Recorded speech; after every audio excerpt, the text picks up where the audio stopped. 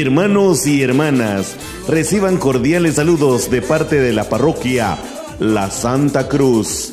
En esta hora del día venimos a tocar la puerta de tu corazón para que colabores con nosotros con la construcción del templo parroquial. Puedes colaborar económicamente con el fruto de tus cosechas, maíz, frijol, verduras, hortalizas, frutas de la misma manera, si cultivas animales, puedes colaborar con aves de corral, vacas, toros, cabras, ovejas y conejos.